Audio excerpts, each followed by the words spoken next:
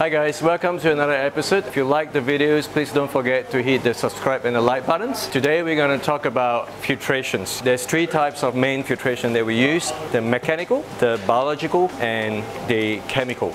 Now, mechanical predominantly is used to polish the water. For example, the sponge filter on the right hand side here. It also houses beneficial bacteria over time and we all know that beneficial bacteria is uh, also known as nitrifying bacteria. It's very important to convert our ammonias to nitrite and from nitrite to nitrates.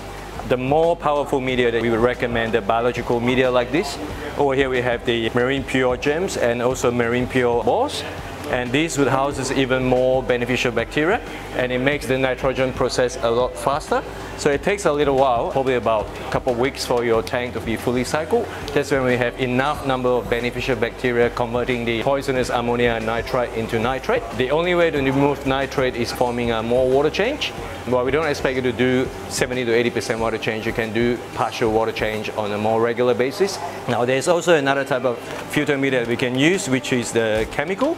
Now this is not necessary, even though it removes a lot of our toxic in the water, but is, is um, not necessary in your tank if you don't want to have to use it. Uh, it's entirely up to you. The most important one is the biological um, media. This we usually have in our canister or in our sump. The more the merrier. So there's no such thing as over-filtrations.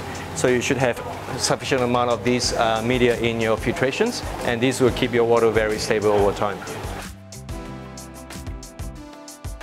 There's nothing wrong with canister filter. It's actually very quiet and also it uses less energy as well. But the problem I have with canisters is because the lack of space to hold the biological, uh, biological medias, whereas sump has got a much bigger space so we have more flexibility as well. You can have more sponge, you can have more medias. We just make maintenance a lot easier as well. With canisters, there's nothing wrong with that. But if you're a heavily stocked tank, you might have to clean it out more regularly. We'll be looking about one or two months you have to clean it out. But with sump, you, you can last up to a couple of months, like three up to six months.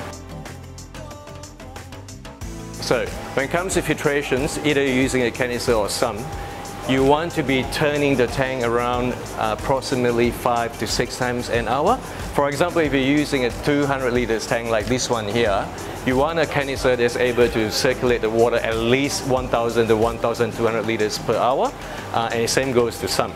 So it really comes down to how big is your system. But we want to be turning the water around at least five to six times an hour.